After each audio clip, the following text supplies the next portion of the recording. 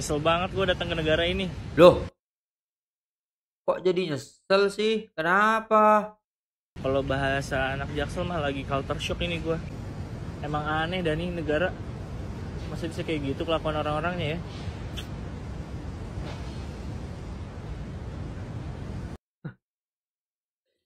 Aduh, kok bisa ya mereka begitu? Kok bisa ya guys ya?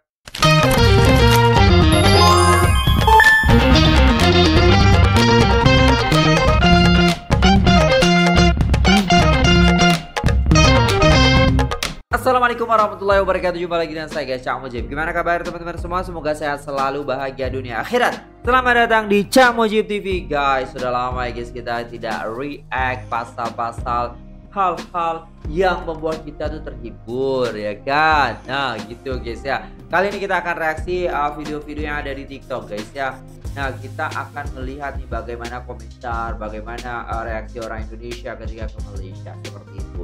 Pasti ada kejadian-kejadian yang mungkin kita tidak tahu akan hal itu ya guys ya. Makanya di-share oleh mereka di uh, sosial media TikTok. Nah, tanpa berlama-lama langsung saja guys kita play videonya. Let's go. Bang, kapan ke Malaysia nya? Jadi ini gue udah di suatu negara yang lain, tapi gue harus pastiin nih kalau ini tuh di Malaysia. Eh, coba kita cari orang dulu, kita ajak ngomong bahasa Melayu. Let's go. Mbak, mbak, sorry, awak orang... Saya asli Indonesia. Ah, orang Indonesia? Wah, gimana sih? Bahas ini, ketemu orang Indonesia-Indonesia lagi. Gue mau nyari orang Malaysia asli dulu deh. Bapak, orang Malaysia? Medan, Medan. Hah? Orang Medan? Ini gue lagi di Malaysia atau di mana sih? Kok orang Indonesia semua isinya? Tangerang. Nah, gimana sih? Kok orang dari Indonesia? Bisa. Gue rajin ke tempat makan lu. Sambal bakar. Nah, aduh, ini kenapa isi orang Indonesia semua? Jadi ceritanya mau mastiin bahwa saya itu negara Malaysia tapi ketemunya malah orang Indo semua guys. Gimana dong? Isi mbak, mbak orang Malaysia? Asli orang Malaysia? Awak tahu kita lagi di mana? Ya Malaysia. Ini bener di Malaysia? Terima kasih Ci. Ini buat Ci karena udah ngasih tahu kalau aku di Malaysia.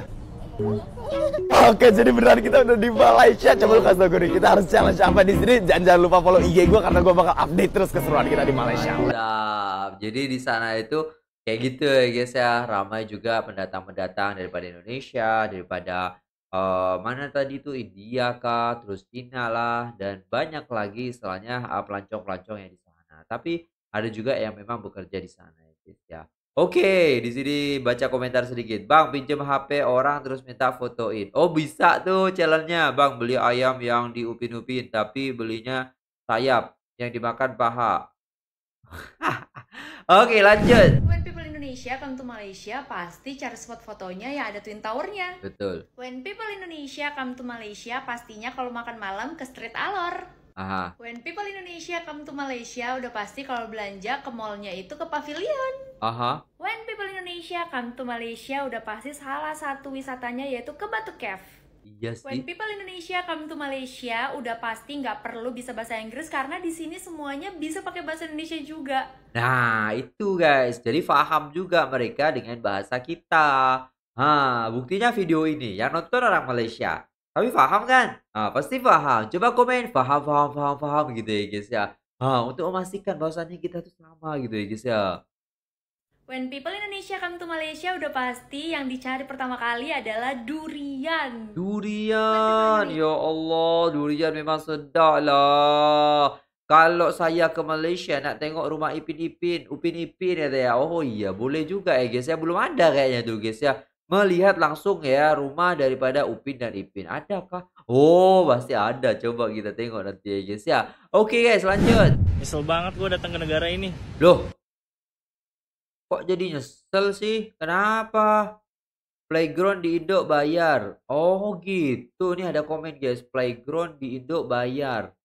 Ya memang bayar lah. Mana ada playground gak bayar gitu. Apa di Malaysia ada playground tapi gak bayar gratis gitu. Gak ada lah. Masa gitu? Iya kah? Coba coba coba coba coba. Bayangin aja deh.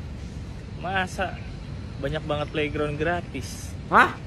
Kalau bahasa anak jaksel mah lagi culture shock ini gue. Culture shock. Playground gratis tuh gimana ya? Kan anak gue jadi nggak mau pulang. Iyalah pasti. Kan nggak mau pulang kok bisa gitu. Gak mungkin lah bang. Playground tuh bayar kan 50 ribu. Di sana mungkin masa playground gak bayar sih? Ah gak juga ah. Di negara ini juga gak ada yang nerobos lampu merah. Coba bayangin lampu merah nih kosong nih di perempatan. Gak nerobos. Yang jalan yang harusnya hijau tapi nggak ada mobil. Tapi di situ nggak ada yang nerobos kan aneh. Loh kok bisa? Kalau di Indonesia kan biasa saya nerobos. Gak guys, sekarang ditilang guys, gila. Eh, sekarang tilangnya tuh canggih Indonesia tuh, tilangnya langsung kamera gitu ya guys ya.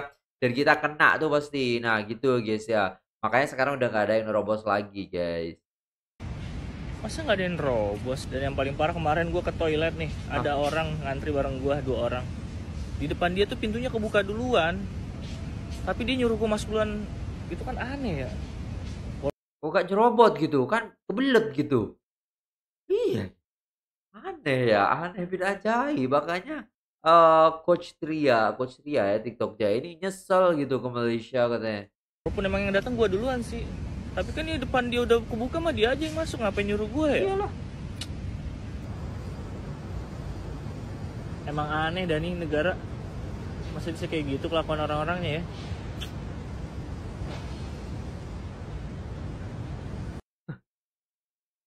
Aduh, norak di negara orang. Kok bisa ya mereka begitu? Kok bisa ya guys ya? Ramai Indonesia, ramai orang Indonesia buat video akan kata playground gratis. Iya kok, kayaknya. Playground harus bayar kalau ke Indonesia untuk yang lengkap seperti KLCC harus. Iyalah, maksudnya playground yang di di mana bang? Kayaknya ada playground gitu ya. Eh, baru tahu playground berbayar di sana. Eh, Indonesia tak ada playground free ke? Eh, ada sih taman kanak taman-taman bermain ada, tapi sedikit jumlah dia. Yang eh, permainan dia lengkap perlu bayar. Cause dia kelola non government. Betul betul betul. Oh macam tu. Emang playground di Indonesia harus bayar. Tapi terobos lampu merah kalau di tengah kota memang jarang, nggak kayak di Indonesia. Eh, gua orang Malaysia tinggal di Bandung, tapi sayang banget eh, gua sama eh, tapi sayang banget dong gua sama Bandung. Oh, jadi orang eh, Malaysia udah terlanjur sayang kepada Bandung guys, gak mau pergi dari Bandung. Waduh, mantap nih guys ya. Dan ya pasti melihat gitu. Tapi kalau di kota nggak begitu sih guys ya. Mungkin di eh, tempat-tempat itu ya guys ya, tempat-tempat yang kredit gitu. Belum aja ke Taiwan, tiap sudut ada taman, terus ada tempat jeep gratis. Oh! Lampu merah di mana-mana, bukan hanya manusia. Dogi aja kalau lampu merah, dia nggak bakalan nyebrang nungguin hijau. Waduh, alhamdulillah negara Aceh playgroundnya free bang. Wah mantap. Oh kok negara Aceh, negara Indonesia dong. Iya kan? Astaga. Oke, kita udah melihat nih guys beberapa video yang sudah ada di TikTok ya guys ya yang banyak juga dibahas oleh orang-orang bagaimana istilahnya eh, mereka itu pergi ke Malaysia dan ketika ke Malaysia itu mereka mengalami culture shock seperti itu guys ya. Karena eh, setiap kita pergi ke negara orang pasti kita akan mengalami culture shock. Entah apakah itu ya guys ya bermacam-macam. Sedangkan coach Tia ini tadi mengalami culture shock yang memang di negara kita ya gak ada gitu ya guys ya. Maksudnya uh, playground yang istilahnya di sana itu setiap taman pasti ada playgroundnya ya guys ya. Dan juga di Indonesia itu kalau kita lihat setiap kampung hampir kalau di Jakarta itu eh, nggak semua kayaknya. Dan apa namanya saya ada eh, saya kan di Jakarta Timur ya waktu itu itu ada guys ya. Jadi kampung terus ada playgroundnya seperti itu tuh ada. Sekarang juga di kampung sini juga baru diresmikan kemarin yaitu eh, playground ataupun tempat bermain anak. Cuman nggak komplit hanya lima tempat main gitu, perosotan, terus ayunan, udah gitu aja. Nah mungkin eh, abangnya shock ini ketika melihat eh, banyak mainan dan juga itu gratis gitu ya guys. Ya, oke kita lanjut lagi guys. Halo Eh, Pak. Masuk, masuk, masuk, masuk. Bila orang Indonesia pergi ke Malaysia, Eh, bang, abang nak pergi mana bang? Ah, saya mau ke Eh, eh, Eh, abang eh. punya slang. Apa? Orang Sabah? eh enggak Pak, saya asli Indo, Indonesia, asalnya Jakarta. Oh, okey. Sorry. A- abang nak pergi mana bang? Saya mau ke uh, Kampung Durian Runtuh, uh, minta bantuan Bapak uh, bawa Kampung saya apa? ke sana. Kampung Durian Runtuh. Bang, tak ada bang tu. Iya Pak, dalam satu lagi Pak mau tanya Pak, uh, warung Uncle Mutu sama Koko Tok Abah berdekatan nggak? Ya, Pak, lagi Pak. Uh, Mail dalam Upin Ipin ya.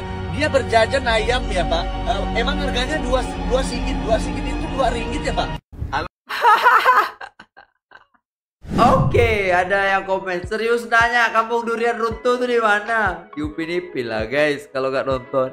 Terus nanya, emangnya orang Sabah Malaysia bahasanya mirip Indonesia kak? Kok dia tanya begitu? Nah, coba kita baca lagi di sini guys ya. Oh, biar kita ada pengetahuan gitu dengan video karena memang mereka bagian dari Indonesia. Ya Sabah Sarawak ya agak sama bahasa Melayu Sabah hampir mirip bahasa Indonesia. Soalnya Sabah di Kalimantan kan dekat Indonesia. Bang terus nanya kenapa Mail jual ayam goreng tapi ayamnya dibakar. Masa gitu sih guys? Enggak lah, enggak gitu.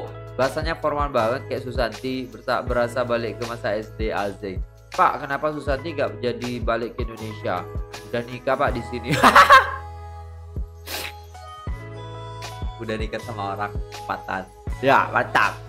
Oke guys, dari itu dulu videonya. Terima kasih udah tengok video ini sampai selesai. Semoga terhibur dan itulah tadi ya beberapa video daripada TikTok yang sudah kita tonton dan memang terbaik lagi ya banyak konten-konten kreator yang kreatif di sana, banyak konten-konten yang istilahnya membuat kita itu oh tahu gitu kan informatif.